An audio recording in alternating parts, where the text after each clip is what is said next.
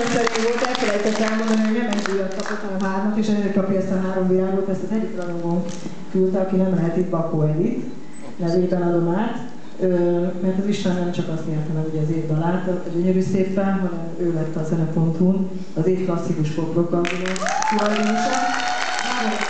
És a, és a barátnőivel megválasztottuk mindenki, tehát a rajongó, az év legszimpatikusabb sztárpárjának is.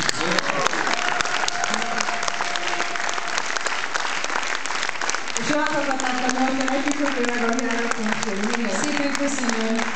Nagyon kedvesek vagytok. Köszönjük szépen. Köszönjük szépen.